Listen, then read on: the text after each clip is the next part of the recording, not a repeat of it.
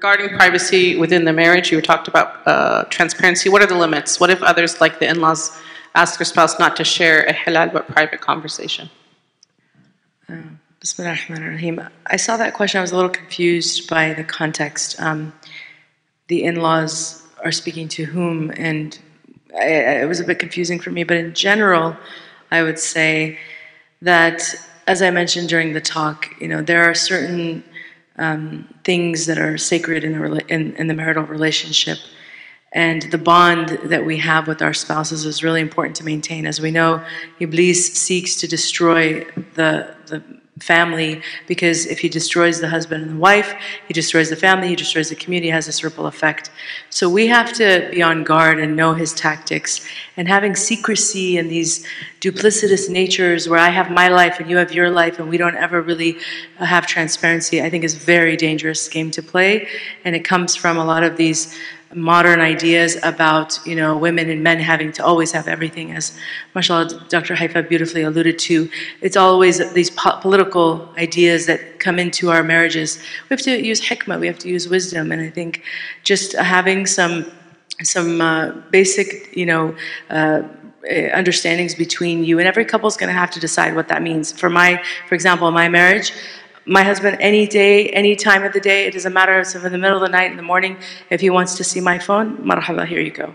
There's no, oh no, you can't look at my stuff, it's private. He doesn't have access to my passcode. I just don't believe that that's healthy. So he can get into my phone and I can go into his phone. I have all his access to his emails. He can go into my email. He can do whatever he wants. But he knows respectfully there are certain things that are very private. And I tell him because I have sisters that message me that for that reason, please do not touch these things because it's confidence that I have of other women or other people. But everything else between him and I, there is this understanding that there's no privacy. So I think you know, really having a culture of mutual respect, of um, honoring one another's preferences. Some people might have more, you know, things that they are, that they want just from experiences. You know, I, I know people who've come out of really unhealthy relationships, so they might need, they might need a, a little bit more, you know, in their current relationship because of their past. So just being compassionate and seeing people where they are and having open dialogue, I think will remove a lot of the doubt and suspicion and all of those things of shaitan and um, you know that he wants to you know create between the couple. So just have open communication. That's that as far as in-laws and other people i mean again we have to be very clear about boundaries um, within our, our marriages. And that goes for for anybody that's not involved in the marriage. You can always seek advice but to have people meddling in your marriage um,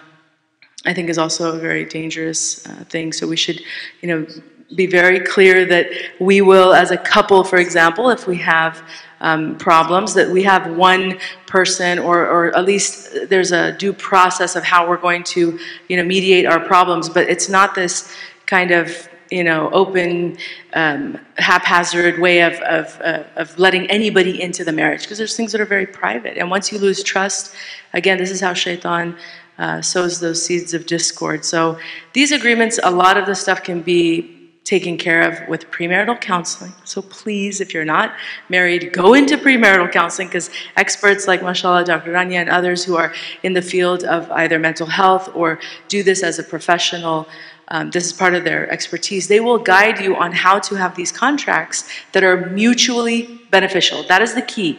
It has to be mutually beneficial. That's very different than equal, okay? And those words I know are interchanged, but mutually beneficial is rooted in respect. It's rooted in, in again, taqwa, in, in, in, in uh, inshallah, in the pleasure of Allah subhanahu wa ta'ala above the nafs. And if we, I think, conduct ourselves in that respectful way, we will have agreements um, with our spouses that uh, will not leave anyone feeling that they you know, have a need to hide or have a need to, to, uh, to do things any other way. So.